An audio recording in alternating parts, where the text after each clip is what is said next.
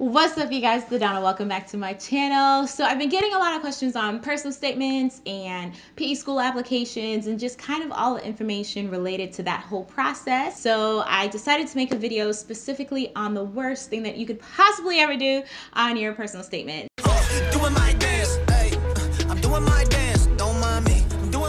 If you are interested in getting a personalized consultation session with me, because you guys know I do do those, and for those of you who don't know, I do do consultation sessions for um, pre-PAs that are trying to get into PA school, please be sure to go to the description box below. I will leave a link there. You can sign up for your consultation session with me, and we can kind of knock through some of your own personalized questions to you. You'll get a full hour with me um, via like video chat or some sort of um, video communication or on the phone if that's what you prefer. This video is about the personal statement. So um, with respect to the personal statement, I think it's like the key to getting you an interview, right? Um, if you have a bomb personal statement, some of your other things that may not be as stellar, I guess you could say, will kind of fall by the wayside. You got to get your personal statement up. And with that being said, I feel like the worst thing that you could do on your personal statement is lie.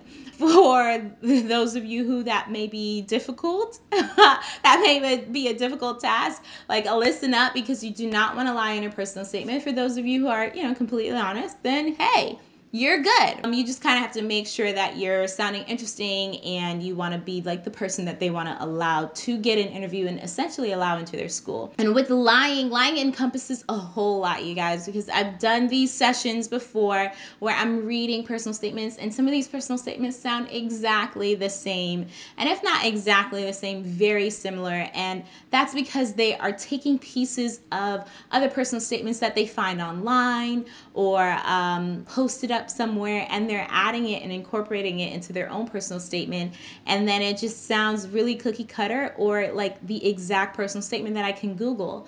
And so that is also lying. It's being deceptive. And if you're copying somebody else's personal statement to try to get into PA school, no, don't do that. Um, it's not personal to you. It's not going to get you in. And they do check this stuff, okay? They reserve the right. A lot of schools reserve the right to check and see if everything that you put into your application is honest and truthful. And that includes your personal statement. So be honest, be truthful, because that is the best thing that you could possibly ever do. If you lie on the personal statement and they come back and they find out that you lied on that personal statement, for instance, if you got into school and you lied, um, most schools have these contracts where they have you kind of sign a contract saying that, you know, everything that you're saying is truthful and honest. And CASPA has that contract as well. So if you break that by lying on your personal statement, you can be kicked out of the program. So please do not lie. Ensure that you are giving yourself a fighting chance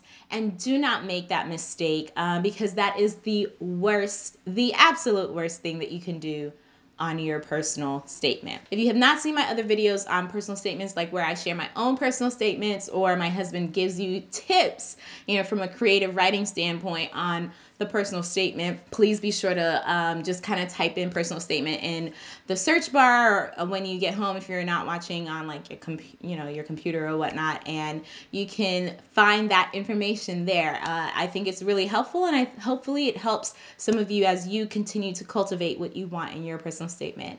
Uh, be sure to follow me on Instagram at Adanna PA and like this video and subscribe if you have not already done so. Thank you guys so much for watching. I will talk to you guys next time. Bye.